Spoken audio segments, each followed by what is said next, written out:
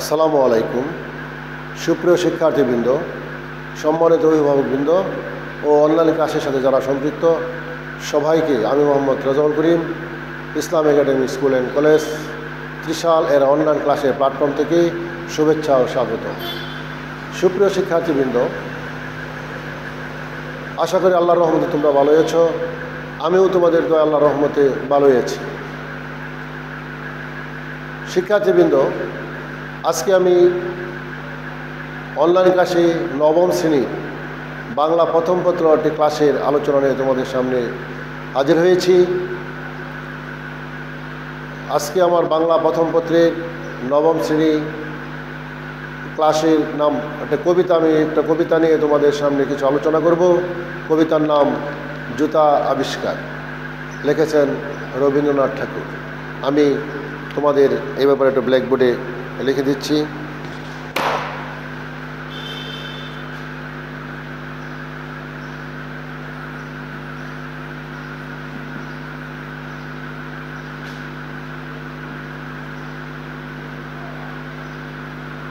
সানি নবম।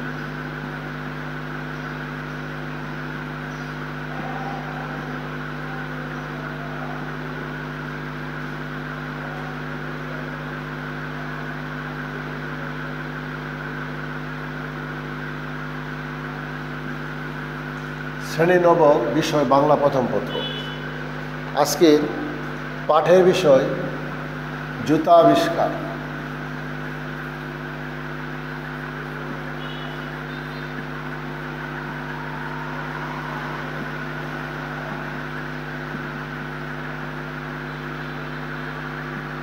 জুতা আবিষ্কার। কবিতাটি লিখেছেন রবীন্দ্রনাথ ঠাকুর।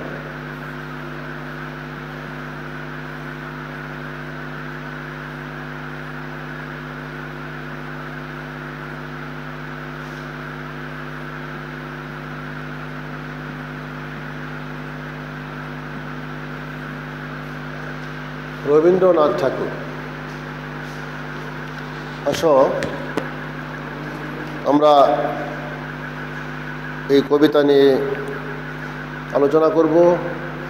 তার আগে আসো কবিতাটির যে কবি যে লিখেছেন বিশ্বকবি রবীন্দ্রনাথ ঠাকুর এই রবীন্দ্রনাথ ঠাকুর সম্পর্কে আগে আমরা কিছু জেনে নিই। কবি পরিচিতির মাধ্যমে আমরা কিছু জেনে নিই, তারপরে আমরা কবিতা নিয়ে আলোচনা করব। রবীন্দ্রনাথ ঠাকুর। জুতা আবিষ্কার। তার রবীন্দ্রনাথ ঠাকুর, প্রকৃত নাম রবীন্দ্রনাথ ঠাকুর, কিন্তু তার একটা ছদ্মনাম আছে। ছদ্মনাম হলো ভানুসিংহ ঠাকুর। রবীন্দ্রনাথ ঠাকুরের জন্ম সাত মে আঠারোশো একষট্টি সাল আর বাংলা পঁচিশে বৈশাখ বারোশো আটষট্টি। কলকাতার জোড়াসাঁকুর ঠাকুর পরিবারে জন্মগ্রহণ করেন। আমি জন্ম সালটা আমি আবার বলে নিচ্ছি তোমরা ভালো করে শুনে শুনে নাও। সাত মে আঠারোশো একষট্টি, ইংরেজি, আর বাংলা পঁচিশ বৈশাখ বারোশো আটষট্টি। কলকাতার জোড়াসাঁকো ঠাকুর পরিবারে তিনি জন্মগ্রহণ করেন। পিতার নাম মহিষী দেবেন্দ্রনাথ ঠাকুর। রবীন্দ্রনাথ ঠাকুরের পিতার নাম মহিষী দেবেন্দ্রনাথ ঠাকুর। মাতার নাম সারদা দেবী। মাতার নাম হলো সারদা দেবী। আর পিতামহ প্রিন্স দ্বারকানাথ ঠাকুর। পিতামহ প্রিন্স দ্বারকানাথ ঠাকুর। আমি আবার বলে দিচ্ছি, তোমরা ভালো করে মনে রাখার জন্য শুনে নাও আবার। পিতার নাম মহিষী দেবেন্দ্রনাথ ঠাকুর, মাতা সারদা দেবী পিতামহ, প্রিন্স দ্বারকানাথ ঠাকুর। রবীন্দ্রনাথ ঠাকুর বাল্যকালে Oriental Seminary School, Normal School, Bengal Academy ইত্যাদি প্রতিষ্ঠানে অধ্যয়ন করলেও তিনি কোনো প্রতিষ্ঠানে পাঠ শেষ করতে পারেন নাই। তারপরে সতেরো বছর বয়সে ব্যারিস্টারি পড়তে তিনি ইংল্যান্ডে চলে যান। সেখানেও তার লেখাপড়া অসমাপ্ত রেখে তিনি আবার দেশে চলে আসেন। আসলে তিনি কোথাও প্রাতিষ্ঠানিক লেখাপড়া তার হয় নাই, কারণ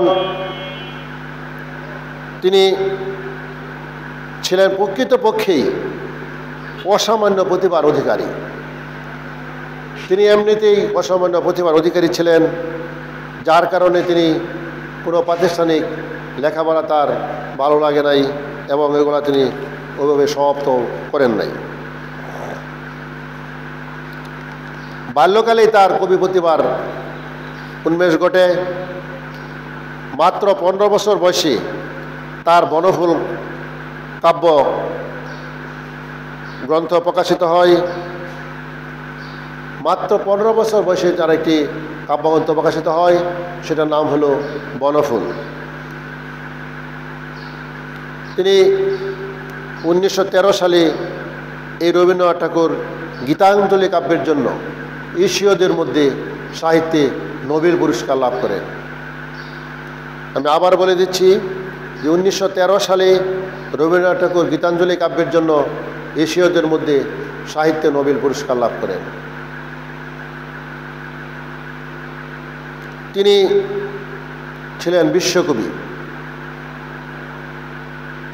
এছাড়াও তিনি একাধারে সাহিত্যিক, দার্শনিক, শিক্ষাবিদ, সুরকার নাট্য প্রযোজক এবং অভিনেতাও ছিলেন। এসব তার প্রতিভার তিনি অধিকারী ছিলেন।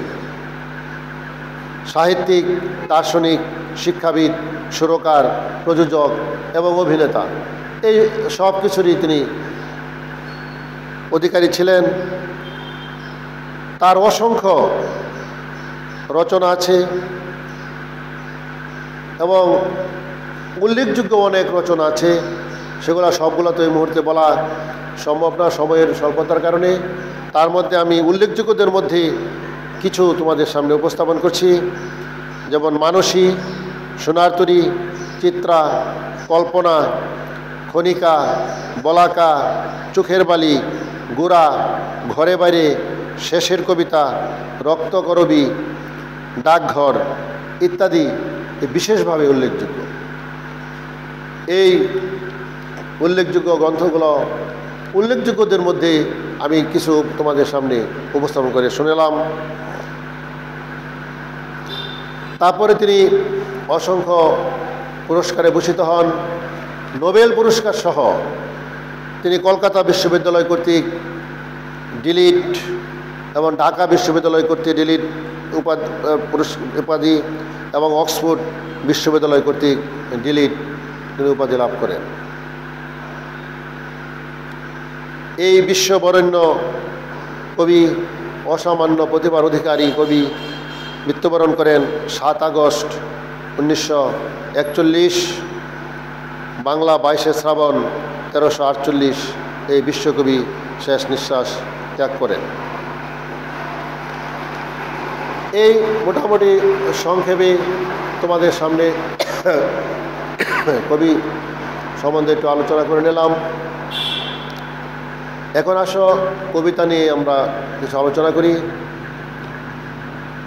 কোথেকে এই কবিটা নেওয়া হয়েছে? রবীন্দ্রনাথ ঠাকুরের কল্পনা কাব্যগ্রন্থ থেকে এই জুতা আবিষ্কার কবিতাটি সংকলনা হয়েছে। তার একটি কাব্যগ্রন্থ আছে, নাম হলো কল্পনা। এই কল্পনা কাব্যগ্রন্থ থেকে জুতা আবিষ্কার এই কবিতাটা নেওয়া হয়েছে। এটার উদ্দেশ্যটা কি?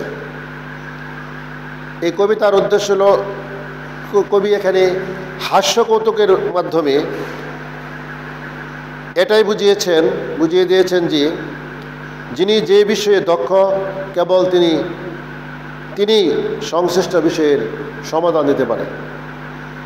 তিনি এটাই বুঝাইতে চেয়েছেন যে দক্ষ ব্যক্তি ছাড়া, যে পারদর্শী ব্যক্তি ছাড়া, যে যে বিষয়ে যে পারদর্শী, যে বিষয়ে যে দক্ষ, তাকে ছাড়া অন্য কে, কারও দ্বারা যে কোনো কাজ করা সঠিকভাবে সম্ভব হয় না, তাই তিনি এই হাস্য কৌতুকের মাধ্যমে প্রকাশ করেছেন।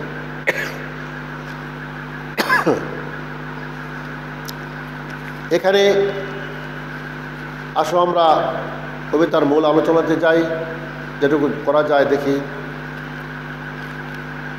এখানে কবিতার নাম হলো জুতা আবিষ্কার। জুতাটা কেমন আবিষ্কার হলো, তার একটি কাল্পনিক একটি রূপ, একটি চিত্র কবি এখানে তুলে ধরেছে। যে হবুচন্দ্র রাজা আর মন্ত্রী নাম হলো গবুচন্দ্র। হবু একদিন রাতে স্বপ্নে দেখেন বা অনেক ভেবে চিনতে সারা রাত স্বপ্নে না বাস্তবে? ভেবে, সারা রাত ভেবে সকালে উঠে সে মন্ত্রী পরিষদ সবাইকে ডেকে বলল যে, আমি সারা রাত অনেক ভেবেছি, অনেক চিন্তা করেছি যে, আমার, আমি রাজা, রাজার পায়ে কেন দূরে লাগবে? এই নিয়ে আমার চিন্তার শেষ নেই। তোমরা এত মন্ত্রী থাকতে, এত অভিজ্ঞ লোক থাকতে, এর সমাধান কীভাবে করা যায় সেটা তোমরা করে দাও। সবাই তো মহা চিন্তায় পড়ে গেছে যে এটা কী করে সম্ভব? যে রাজার পায়ে যদি ধুলি না লাগে, তাহলে আমরা দুলি থেকে নিব? দুলি পায়ের ধুলি আমরা কোথায় পাবো? রাজার পা থেকে তারা পায়ের ধুলি পাবে কোথায়? এইভাবে তারা এই কথাটার পাশ কাটে, যেতে চাইলেও কিন্তু রাজা সেতে এতে অনর তার কথা হলো তার পা যাতে ধুলি না লাগে, সেটাই সেটাই বড় কথা, সেই ব্যবস্থা আগে করতে হবে। দুলির চিন্তা, তত্ত্ব কথা পরে দেখা যাবে। এবং বলে দিল যে এর ব্যবস্থা করতে না পারলে সবার কঠিন সমস্যা হবে। এবং মন্ত্রী পরিষদ সবারই ঘুম হারাম, সবাই ঘেমে গর্মাক্ত এবং তাদের বাড়িতেও সবার রান্না খাওয়া বন্ধ, সবাই চিন্তায় অস্থির। কীভাবে এই রাজার পা দুলি রাজা না লাগে এই ব্যবস্থা করা যায়। এইভাবে বিভিন্ন রাষ্ট্রের অনেক জ্ঞানীগুণী ব্যক্তিদেরকে নিয়ে আলোচনা করে ব্যবস্থাটা করল। তারা যে ঝাড়ুর মাধ্যমে কীভাবে এই দেশ দেশে দোলা দূর করা যায়, তার ব্যবস্থা করবে তারা। এই জন্য সাড়ে সতেরো লক্ষ জাটার ব্যবস্থা করল। এই ঝাঁটার মাধ্যমে তারা ঝাড়ু দিয়ে দোলা দূর করে দিবে। এইভাবে তারা যখন ব্যবস্থা নিল, যখন ঝাড়া দেওয়া শুরু করল, তখন ধুলায় দেশময় একাকার হয়ে গেল মানুষের এই ধুলায়। এই নাক মুখ বন্ধ অবস্থা, এই কঠিন অবস্থার মধ্যে পড়ে এখন রাজার অবস্থা আরও খারাপ। যে ধুলায় আকাশ, সূর্য পর্যন্ত ডেকে গেছে সমস্ত এলাকা, সমস্ত রাজ্য দোলায় দোলাময় হয়ে গেছে। এখন রাজা আরও সমস্যায় পড়ে তাদেরকে বলল যে, তোমরা এই কী করলে? তোমরা দোলা দূর করতে গিয়ে আরও দোলায় রাজ্য একা- একাকার করে ফেললে। তখন সবাই আবার মহা মুশকিলে পড়ল। আবার মহা চিন্তায় আবার কি করবে তারা? এই দোলা কেমনে দূর করবে? এই দোলা দূর করার উপায় তারা হিসাবে আবার তারা আরেক ব্যবস্থা বেছে নিল। সেটা হলো তারা পানি দেয়া এই ধুলা তারা দূর করবে। কীভাবে এই ধুলা যাতে দূর হয়ে যায় সেই জন্য তারা একুশ লাখ বৃষ্টির ব্যবস্থা করল। বৃষ্টি মানে পানি রাখার চামড়ার পাত্র। এই একুশ লাখ বৃষ্টির মাধ্যমে তারা নদী থেকে, খাল থেকে, বিল থেকে সমস্ত জায়গা থেকে পানি এনে তারা রাজ্যময় পানির ধুলা দূর করার ব্যবস্থা করে ব্যবস্থা করতে লাগল। পরিণামে হলো কি? হিতে বিপরীত হলো নদীর পানি, পুকুরের পানি সব শেষ, মাছ সব শুকনায় পরে মাছ সব যত পানির পানির যত প্রাণী ছিল, সমস্ত প্রাণী মরে শেষ। আর যারা ডাঙার মানুষ, ডাঙার যারা আছে, তারা সবাই সর্দি, কাশিতে জ্বরে একাকার হয়ে গেল। রাজা বলল, ধুলা করে দূর করতে গিয়ে এখন তো কাদায় আবার দেশ, আবার একাকার হয়ে গেল। এখন তারা পড়ছে আরও মহা চিন্তায়, মহা বিপদে তারা এইবার চিন্তা করল যে রাজাকে এবার গড়ে বন্ধ করে রাখতে হবে। রাজা যাতে গড় থেকে না বের হয় এবং কোনো ধরনের ছিদ্র যাতে গড়ের মধ্যে না থাকে, তাহলে আর দোলার কোনো ব্যবস্থা দোলার রাজার পায়ে লাগবে না এবং দোলার কোনো আবাস রাজা পাবে না। কিন্তু এই ব্যবস্থা রাজা মানতে নারাজ যে না, এটাও ভালো ব্যবস্থা না, তাহলে সে রাজ্য চালাবে কেমনে? কেমনে কি করবে? কোনো বন্ধ পদে থাকলে তো আর চলবে না। যাই হোক এই অবস্থাও রাজা মানতে কোনো অবস্থাতে রাজি না। তখন তাদের মাথায় আরেক বুদ্ধি তারা চিন্তায় পড়ে গেল, আবার কীভাবে কি করা যায়? মহা চিন্তা। তারা তখন তাদের মাথায় আরেক চিন্তা আসলো যে, রাজ্যময় কীভাবে চামড়া দিয়ে মুড়ে দেওয়া যায়? এই জন্য ভালো মোচার দরকার ভালো চামার দরকার। এই চামার এনে চামড়া দিয়ে চাম, রাজ্যময় একেবারে মুড়াইয়ে দিবে। তখন তারা এই ভালো চামড়া এবং চামার খুঁজতে লাগল যাতে এই দোলা রাজ্যময় চামড়া দিয়ে মুড়ে দেওয়া যায়। এইভাবে এই চিন্তা করে তারা যখন সমস্ত রাজ্য আবার খোঁজাখুঁজি শুরু করে দিল, চামার আনার ব্যবস্থা হইল এবং চামার আসলো কিংবা, এবং চামারও কি ভালো চামার লাগবে তার হলে তো এই আবার আরেক সমস্যা সৃষ্টি হবে। যদি এই রাজ্য চামড়া দিয়ে ডেকে না দেওয়া যায় তাহলে তো হাই পায়ে আবার দূরে লাগবেই যখন চামার আনা হলো, চামার তখন সামনে হাজির করা হলো। চামারকে হ্যাঁ চামার তখন মুসকে এসে বলল যে, আমাকে অনুমতি দিলে আমি একটি সহজ সমাধান আপনাদের সামনে উপস্থাপন করতে পারি। তখন রাজা বলল আচ্ছা বলো তোমার কি সমাধান? কী, কীভাবে তুমি এর ব্যবস্থা করতে পারবে? তখন সবাই হতবাক হয়ে তার দিকে তাকিয়ে রইল। সে বলল, এটা অতি সহজ ব্যবস্থা যে রাজার পা দুটো যদি আমি চামড়া দিয়ে মুড়িয়ে দিই, তাহলেই তো আর রাজার পায়ে দূরে লাগার কোনো উপায় নাই, কোনো সম্ভাবনাই নাই।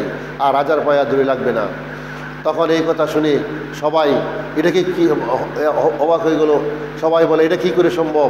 আমরা এত এত চিন্তা করে, এত কিছু করে আমরা দোলা দূর করতে পারলাম না। চামার এত সহজেই দয়া করতে পারবে, এই বেটাকে শুলে দেওয়া হোক, এই বেটাকে জেলে দেওয়া হোক, এই ধরনের তারা মানে চিন্তা ইয়া শুরু করে দিল, শাসন করা শুরু করে দিল। ইয়া চামারকে যখন এই ব্যবস্থা তারা করতে লাগল, তখন আসলে এখন তো মন্ত্রী পরিষদ, তারা এই চামারের সামনে ছোট হয়ে গেছে। যে কি যে এই চামারে এত সুন্দর একটা সহজ ব্যবস্থা করতে পারল। আর আমরা সারা দেশের, সারা রাজ্যের এত জ্ঞানীগুণী ব্যক্তি, এত বুজুর্গ, এত জ্ঞান গর্ব, এত কিছু টাকা কারণ রাজা আগেই বলেছে, তোমাদেরকে আমি এমনি টাকা দেওয়া বসি, তোমরা কোনো সমাধান করে যেতে পারছ না। এখন সবারই তো মাথা হ্যাট হয়ে গেছে, ছোটো হয়ে গেছে। এখন মন্ত্রী নিজে তার ইয়া থেকে সম্মান থেকে বাঁচার জন্য সে সে বলল যে এইটা তো আমারও মনে ছিল। এই বেটা, এই মোচার বেটা এটা কেমনে জানতে পারল? হ্যাঁ এই মোচার বেটা এটা কেমনে জানলো? এটা তো আমারও মাথায়ও ছিল এই বুদ্ধিটা। কিন্তু সেটা তার আগে আসে নাই। এবং মোচারের কথা শুনিয়া সে এটা করল যে না, এই ব্যবস্থা তার মাথায়ও ছিল। মানে সেই কৃতিত্বটা সে নিতে চাইতেছে আর কি। কারণ মোচার এই ব্যবস্থাটা করে দেবে এটাকে সে মানে নিতে পারে না? এই জন্য কৃতিত্বটা মন্ত্রী নিতে নিতে চাইতেছে, যেটা তো আমারও মনে ছিল। যাই হোক, এইভাবেই এই মোচারের মাধ্যমে রাজার পা মোড়াই দেওয়া হলো এবং রাজা এই দোলা পায়ে, দোলা থেকে তার পা মুক্ত হইল এবং এই সমস্যার সমাধান হয়ে গেল। যাক, এইভাবেই এই রাজার পা, দোলা থেকে মুক্ত হইল এবং জুতা এই তখন থেকে এই জুতা আবিষ্কারের শুরু হইল। মানুষ এর এই কঠিন সমস্যার সমাধান করে দিল এই মোচারে। যাক তোমরা, আমি অতি সংক্ষেপে অল্প সময়ের মধ্যে তোমাদেরকে এই কবিতার কিছু কবি পরিচিতি এবং কবিতার মূল বিষয় তোমরা আলোচনা করে দিলাম। তোমরা বিস্তারিত বই দেখে পড়ে নিও এবং এটার মধ্যে আরও অনেক কিছু জানার আছে, বোঝার আছে, সেটা তোমরা নিজেরা একটু খেয়াল করে পড়ে নিও, দেখে নিও। এই বলে আমি আজকে তোমাদের ক্লাস শেষ করলাম। তোমরা সবাই ভালো থাকো। আশা করি পরবর্তী ক্লাসে তোমাদের সামনে আবার উপস্থিত হব আবার উপস্থিত হব কোনো বিষয় নিয়ে। সেই পর্যন্ত তোমাদের কাছ থেকে বিদায়। তোমরা দোয়া করো। আমিও তোমাদের জন্য দোয়া করি। আল্লাহ যেন সবাইকে সুস্থ রাখে। আসসালামু আলাইকুম।